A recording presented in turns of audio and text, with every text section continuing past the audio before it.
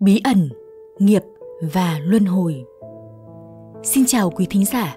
Mừng quý vị đến với số phát sóng tiếp theo của radio đạo phật và cuộc sống, chương trình do sách tri thức biên soạn và phát triển. Hôm nay, chúng ta sẽ cùng nhau tìm hiểu sâu hơn về bí ẩn nghiệp và luân hồi. Nghiệp. Tôi làm chủ nghiệp của mình. Tôi thừa kế nghiệp. Sinh ra, tôi đã mang nghiệp tôi và nghiệp tương quan lẫn nhau. Tôi sống theo sự dẫn dắt của nghiệp. Tôi tạo ra nghiệp gì, xấu hay tốt, tôi sẽ là người thọ lãnh sau này. Đức phật dạy rằng, ta phải tự nhắc nhở mình như thế mỗi ngày. Những điều này quan trọng thế nào mà ta phải tâm niệm mỗi ngày như thế? Karma có nghĩa là hành động. Vào thời đức phật, nó đã được dùng với nghĩa như thế. Karma yoga có nghĩa là yoga của hành động. Nhưng đức phật nói Kama, hỡi các vị tỳ kheo ta nói là sự chủ tâm. Kama không chỉ bất cứ hành động nào nhưng chỉ vào sự chủ tâm ở sau mỗi hành động. Không chỉ sự chủ tâm khi hành động mà cả trong lúc suy nghĩ nói năng. Một cách lý thuyết nếu ta dùng từ karma để chỉ hành động và kết quả của hành động là không đúng.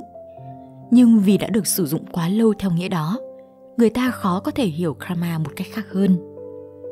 Hành động ta làm với sự chủ tâm thì rất khác với hành động vô tâm.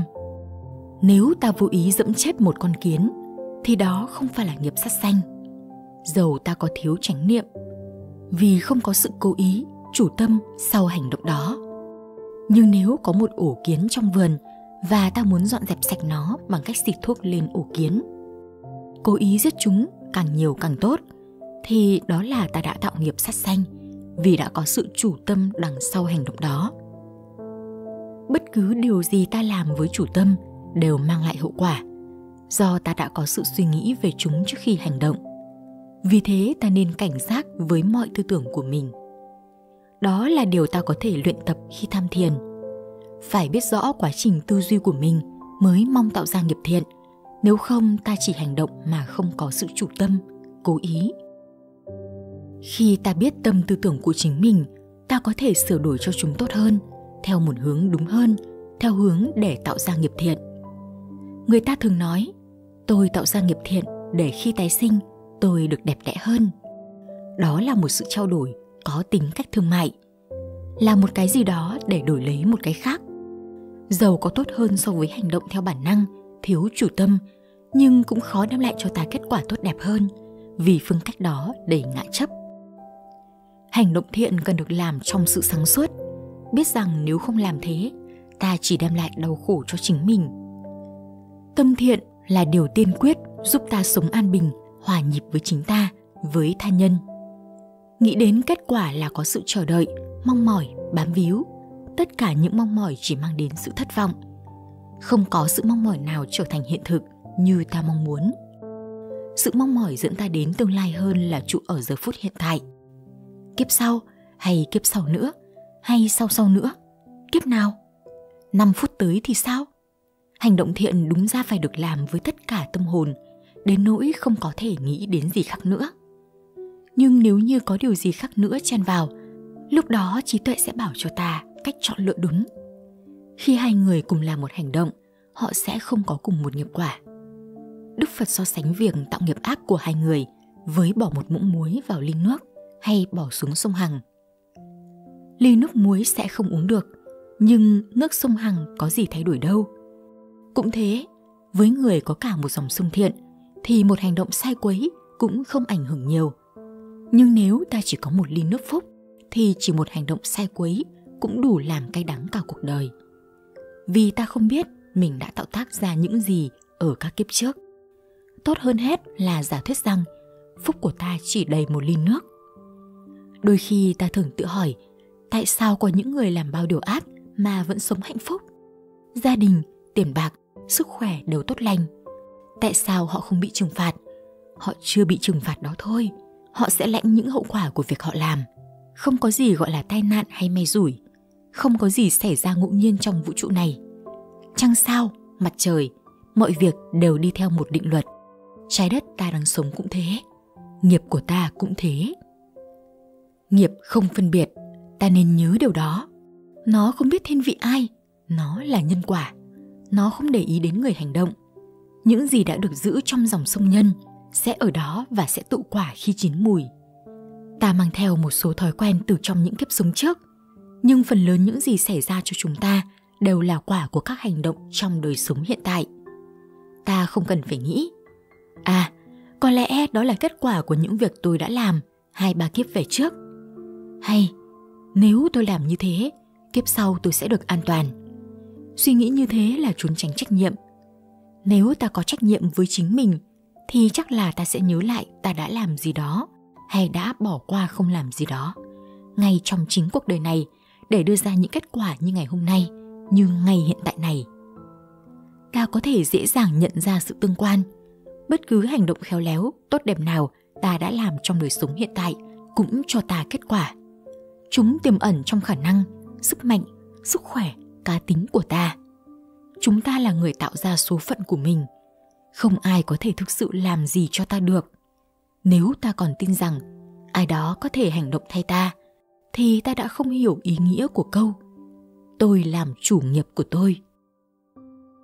Nghiệp là thứ duy nhất ta có thể sở hữu. Mọi thứ khác đều là vay mượn. Ta sẽ không mang theo được gì chủ nghiệp mọi thứ khác kẻ hậu sinh ta sẽ thừa hưởng. Chỉ có nghiệp là của ta. Khi tái sinh, ta mang theo các nghiệp duyên, và chính nghiệp duyên tạo ra các hoàn cảnh, cơ hội cho ta. Ta có sự lựa chọn, nhưng không phải là tuyệt đối. Tất cả chúng ta đều có sự lựa chọn là có nên đến thiền viện hay không. Khi bạn đã chọn có mặt ở nơi đó, bạn đã tạo ra một nghiệp lành. Khi nghe pháp, bạn có sự lựa chọn hoặc là nghe mơ mơ màng màng, hay nghe với cả tâm hồn. Khi đã dốc tâm nghe, bạn có lựa chọn là quên liền sau đó, hay cố gắng lưu giữ lại. Và nếu có giữ, bạn sẽ giữ bằng cách luôn thực hành chúng hay chỉ nhớ vì chúng ly thú. Khi đã chọn sống theo pháp, bạn lại có thể hoặc chọn luôn sống như thế, hay chỉ khi có dịp, có hoàn cảnh thuận tiện. Có được sự chọn lựa không ngừng nghỉ, từng giây phút là quyền của chúng ta. Mỗi giây phút, trừ lúc ngủ, là mỗi phút giây tạo nghiệp. Đó là lý do tại sao chúng ta cần hoàn chỉnh nghệ thuật sống của mình từng giây phút một. Nếu ta không canh chừng từng giây phút tạo nghiệp của mình, thì nó khó tạo ra nhiều điều có lợi cho chúng ta. Có bao nhiêu giây phút tội lỗi có thể xảy ra? Vì thế, tâm cần được phải canh giữ từng giây phút, vì đó là những giây phút có sự lựa chọn những giây phút của nghiệp. Ta càng có những sự lựa chọn khôn ngoan, khéo léo. Ta càng tạo ra nhiều cơ hội tốt cho mình. Giống như sống trong một ngôi nhà có nhiều cửa chính, cửa sổ, ta sẽ có bấy nhiêu cánh cửa để chọn lựa mỗi khi cần ra khỏi nhà. Nếu ta cứ tiếp tục có những lựa chọn sai lầm, thì cơ hội của ta cũng sẽ giảm dần cho đến khi ta tỉnh dậy trong lao tù, nơi cơ hội đã ở đằng sau cánh cửa của sự lựa chọn lúc ấy, ta sẽ chẳng có sự lựa chọn nào cho đến khi được giải thoát. Đôi khi ta tự hỏi, sao người khác hình như có nhiều lựa chọn để làm bao công việc thú vị, trong khi ta chẳng có lựa chọn nào cả. Thì đó là vì các nghiệp ta đã tạo ra. Đức phật nói, có những người sinh ra trong ánh sáng và đi về phía ánh sáng. Có người sinh ra trong ánh sáng để đi vào bóng tối. Có người sinh ra trong bóng tối nhưng đi về phía ánh sáng. Và cuối cùng là có những người sinh ra trong bóng tối, để tiếp tục đi trong bóng tối. Điều đó có nghĩa là, dầu ta được sinh ra trong bất cứ hoàn cảnh nào, ta vẫn có nhiều cơ hội để lựa chọn. Có một người phụ nữ tên là helen keller, khi sinh ra bị điếc, câm và mù. Vậy mà bà vẫn học hành, viết sách và chỉ dạy những người khuyết tật khác sống tốt hơn. Rõ ràng là bà đã sinh ra trong bóng tối nhưng đi về phía ánh sáng. Tất cả chúng ta trong mỗi giây phút đều có một cơ hội đến với mình. Nếu ta để lỡ mất cơ hội đó, có thể ta sẽ chẳng bao giờ có một cơ hội thứ hai như thế nữa. Vì khi đánh mất một cơ hội, cũng giống như ta đã khóa bớt một cánh cửa của căn nhà cuộc đời ta lại. Do đó, hoàn toàn chú tâm cho từng giây phút là một việc làm cần thiết. Đức phật cũng ví, nghiệp giống như một ổ nhận răng một ổ nhện đã được bệnh quá khéo léo đến nỗi ta không biết đâu là sợi nhện đầu tiên đâu là sợi cuối Chúng ta không thể biết nếu mình bệnh hôm nay là do việc làm gì đó không tốt 15 năm trước hay vì ta đã không để ý đến vấn đề ăn uống hôm qua. Nhân quả của ta cũng là những sợi dây nhện đan chéo nhau, đến nỗi ta không biết rõ ràng tại sao sự việc lại xảy ra thế này, thế nọ. Tuy nhiên ta có thể hiểu lý do của những việc quan trọng xảy ra trong đời ta. Ta có thể dễ dàng nhớ lại những lựa chọn sai lầm vì dễ dãi với chính mình và hậu quả của chúng gây ra. Nghiệp đến từ quá khứ hay sẽ xảy ra trong tương lai không quan trọng, vì quá khứ giống như một giấc mộng, còn tương lai thì chưa đến. Việc ta nên quan tâm là ngay giờ phút hiện tại, còn lại tất cả chỉ là một giấc mộng. Trong đó ta không biết mình tỉnh hay mê, không biết việc gì đang xảy ra, không có gì vui thích trong một cuộc sống như thế, khi thực tại như phủ một lớp sương mù. Tất cả chúng ta khi chưa giấc ngủ thì còn sống trong lớp sương mù đó, nhưng ta còn có thể thức tỉnh mình ra khỏi giấc mơ đó. Thực ra, có giây phút nào khác hơn là giây phút hiện tại. Ta không thể sống lại trong quá khứ hay kinh nghiệm trước tương lai. Chỉ có một việc duy nhất ta có thể làm là sống cho giây phút này. Để làm được thế, ta phải hoàn toàn tỉnh thức, nhận biết. Tỉnh thức và nhận biết về chủ tâm của ta. Tâm là chủ, không có gì có thể hiện hữu nếu không do tâm tạo ra. Tâm là động lực tiềm ẩn của bao nghiệp ta tạo ra ta có ba cửa ngõ tư duy ngữ và hành thân khẩu ý đây là ba cửa đưa ta đến sự tạo ra nghiệp và ta tiếp xúc với thế giới bên ngoài qua ba cửa này dầu rằng tư duy là động lực tiềm ẩn, nó tạo ra nghiệp nhẹ nhất nếu không thể hiện ra bằng lời nói hay hành động. Thí dụ như ta thù ghét ai và một tư tưởng lóe qua trong đầu. Nếu hắn đến gần ta nữa, ta sẽ giết hắn. Nhưng ta không nói gì hay làm gì. Dầu đó là một tư tưởng xấu, tạo ra nghiệp ác, nhưng vì không có hành động cụ thể nên nghiệp báo cũng nhẹ. Nhưng nếu ta cứ tiếp tục suy nghĩ như thế, nó sẽ tạo thành thói quen dẫn đến thốt ra lời nói. Nếu kẻ ta ghét đến gần, ta thực sự nói, nếu anh đến gần tôi tôi sẽ giết anh, thì nghiệp sẽ nặng hơn. Trước mắt là ta sẽ tạo ra kẻ thù, và ta đã củng cố tư tưởng xấu bằng lời nói. Và nếu cứ tiếp tục nói lời ác đó, nó sẽ dẫn ta đến hành động.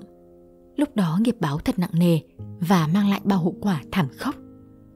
Ý nghĩ, tư tưởng cần phải được canh giữ và sửa đổi nếu cần nếu một tư tưởng xấu dấy lên tốt nhất là giữ đừng cho nó biến thành lời nói hay hành động luân hồi luân hồi là một trong những đề tài được nhiều người bàn cãi sôi nổi đầy hy vọng phấn khởi hay phản đối bác bỏ một trong những ẩn dụ cổ điển về luân hồi là về cây nến. Một ngọn nến đã được đốt cháy đến tận tim. Một ngọn nến khác được đốt cháy từ ánh nến sắp tàn đó, rồi lại tàn đi. Rồi một ngọn nến khác lại được thắp sáng lên. Rõ ràng là đã có ngọn nến sắp khác, nhưng còn ngọn lửa, đó có phải là ngọn lửa cũ được tiếp tục đốt cháy hay ngọn lửa mới? Nếu ta làm một cuộc trưng cầu ý kiến, thì chắc rằng phân nửa sẽ bảo là cũ phân nửa bảo là mới sự thật thì không ai trúng cả ở đây chỉ là sự tiếp nối của năng lượng sức nóng đã được chuyển tiếp sức nóng là năng lượng và điều đó cũng giống như luân hồi của ta một sự tiếp nối của sức nóng năng lượng của lòng yêu sự sống nỗi đam mê được trường tồn sẽ không bao giờ giảm cho đến khi giải thoát một hôm người cùng tử vachogota hỏi Đức Phật.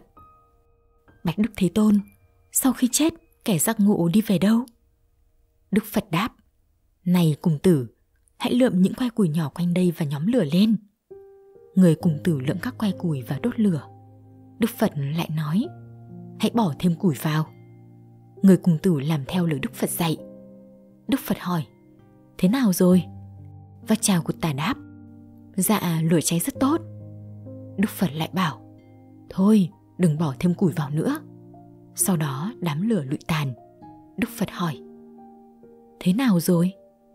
Dạ đám lửa đã tàn thưa ngài Đức Phật nói Vậy đám lửa đã đi đâu? Đi từ trước hay phía sau? Trái, phải, lên hay xuống? Người cùng tử trả lời Dạ không đi đâu cả Nó chỉ tắt Đức Phật nói Đúng thế, đó cũng là điều sẽ xảy ra cho kẻ giác ngộ sau khi chết. Không chêm thêm củi vào ngọn lửa đam mê, ham muốn, cầu sinh tử thì ngọn lửa sẽ tắt. Đứng giác ngộ không tạo ra nghiệp thì họ sẽ không luân hồi. Với chúng ta, vẫn còn lòng ham muốn sinh tồn và đó là hộ chiếu đưa chúng ta đi vào luân hồi sanh tử. Sức nóng của đam mê là năng lượng chuyển tiếp. Đôi khi cũng có những nỗi đam mê trái ngược lại phát sinh. Tôi không muốn sống vì đời quá khổ. Tôi muốn sống hay tôi không muốn sống đều là các ảo tưởng của ngã chấp. Muốn được sống là nỗi ảo ước mãnh liệt nhất. Mãnh liệt đến nỗi trên giường đợi chết cũng có ít người buông tay, chịu thua một cách nhẹ nhàng. Người ta nói giây phút hấp hối là giây phút quý hiếm nhất để ta giác ngộ. Vì giây phút đó là giây phút ta từ bỏ sở hữu của thân. Nhưng phần lớn chúng ta không muốn xuôi tay. Dầu cơ thể ta đã bất lực, ta vẫn chống cự, phùng vẫy. Tuy nhiên, nếu ta tự ý buông xuôi, thì đó có thể là giây phút giác ngộ. Khi cuộc sống của ta còn thoải mái và mọi thứ trên đời còn như ý, ta có thức ăn ngon, thân thể khỏe mạnh, người quanh ta thương mến, thì ta không mấy nhu cầu phải từ bỏ cuộc sống này. Giải thoát lúc đó không phải là điều tối ưu. Nhưng khi sắp chết, đó có thể là điều chúng ta phải làm. Buông tay theo số mệnh.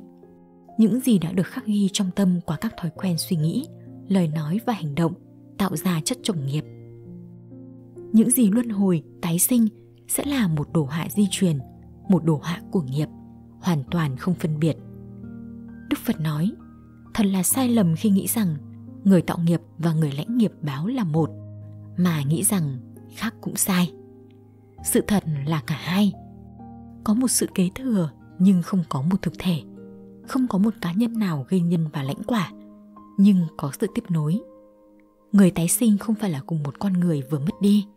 Có lẽ dễ hiểu vì thân tâm tình cảm đã thay đổi mọi thứ đều đã thay đổi kể từ giây phút nghiệp được tạo ra cho đến lúc nghiệp báo. Nhưng có một sự tiếp nối giữa người gieo nhân và người lãnh quả. Điều đó cũng rõ. Vì nghiệp bao trùm cả đời ta, trong đó đã bao hàm các nghiệp quá khứ. Nhưng không có nghĩa là ta có thể nói, ồ, đó chỉ là nghiệp của tôi, rồi bó tay đầu hàng. Có những vị thầy dưới thời Đức Phật đã dạy rằng tất cả mọi thứ đều do nghiệp tạo ra. Do đó ta không có sự lựa chọn nào khác. Đức Phật bác bỏ lối dạy đó. Cũng có các vị thầy dưới thời Đức Phật nói không có nghiệp, bất kể ta làm gì, không có hậu quả gì cả. Đức Phật cũng không tán thành lối suy nghĩ này. Có tạo nghiệp, có nghiệp báo, nhưng chúng ta cũng có quyền lựa chọn của mình. Khi giảng về luân hồi, tái sinh – Đức Phật đã so sánh tư tưởng cuối cùng của ta trước khi chết với một đàn gia súc trong chuồng.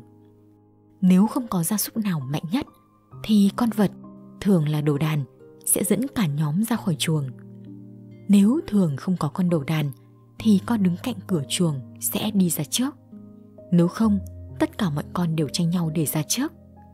Điều đó có nghĩa là ý nghĩ của ta trước giờ lâm chung sẽ tạo sức đẩy cho luân hồi, tái sinh – điều đó không có nghĩa là tất cả các nghiệp quá khứ đều đã hoại diệt mà chỉ là hoàn cảnh tái sinh của ta bị ảnh hưởng. Nghiệp căn nào mạnh nhất, nặng nề nhất, chắc chắn sẽ hiện lên lúc đó và dẫn ta theo nó. Nếu không có, thì các suy nghĩ ta thường có sẽ hiện ra trong tâm ta. Nếu ta thường nghĩ về lòng từ bi, thì điều đó sẽ là những ý nghĩ cuối cùng của ta. Nếu ta không hay suy nghĩ về điều gì rõ ràng, thì điều gì sẽ xảy ra cận kề cánh cửa từ thần sẽ hiện ra trong tâm ta thính giác là giác quan cuối cùng ra đi. Vì thế, muốn giúp đỡ người đang hấp hối, ta nên nói với họ về những hành động tốt họ đã làm. Những điều tốt đẹp đó có thể dẫn dắt họ đến một sự tái sinh tốt đẹp hơn. Không có những điều như thế, thì tất cả tư tưởng đều hiện lên lộn xộn và bất cứ điều gì cũng có thể xảy ra.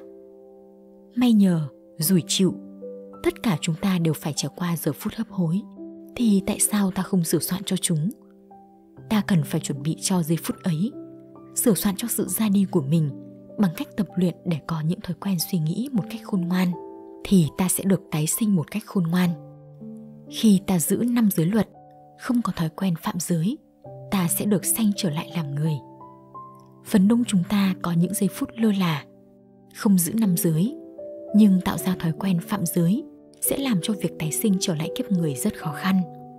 Có chuyện kể rằng một hôm đức phật đi với các đệ tử của ngài dọc bờ biển và ngài nói với họ này các đệ tử nếu có con rùa mù bơi qua các bãi biển của vũ trụ và một khúc gỗ trôi chú rùa mù chỉ trồi lên thở không khí mỗi 100 năm. Các đệ tử có nghĩ là chú rùa có thể đụng đầu vào khúc gỗ không? Các đệ tử trả lời, không thể nào thưa ngài. Chúng không thể nào ở cùng một chỗ trong một khoảng thời gian nếu như chúng cùng lội quanh các biển vũ trụ. Đức Phật nói, không, không phải là không thể nào, mà là không có thể. Rồi Đức Phật tiếp, cũng thế, cơ hội để được tái sinh làm người cũng khó khăn như thế.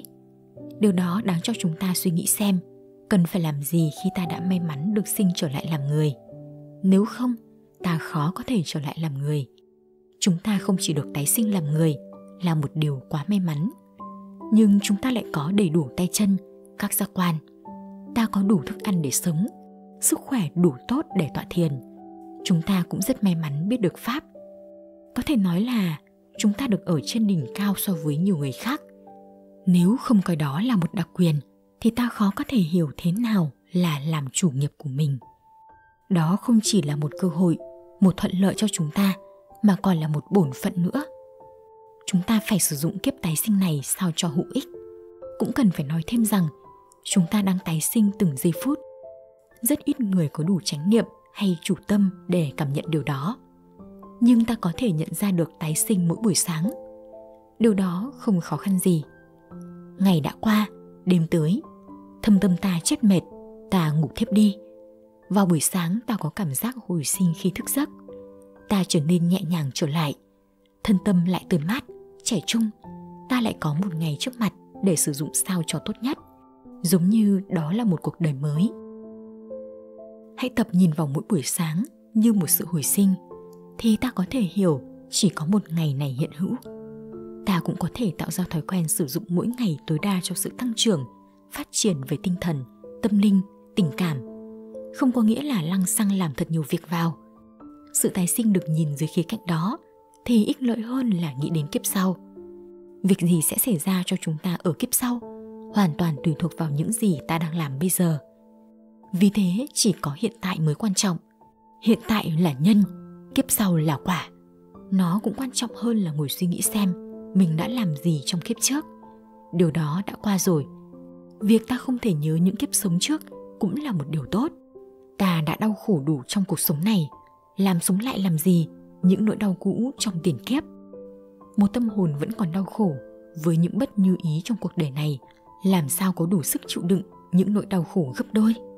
Sự hồi sinh mỗi buổi sáng cũng đủ để mang đến cho ta cảm giác thúc bách, một yếu tố không thể thiếu trong cuộc sống tâm linh.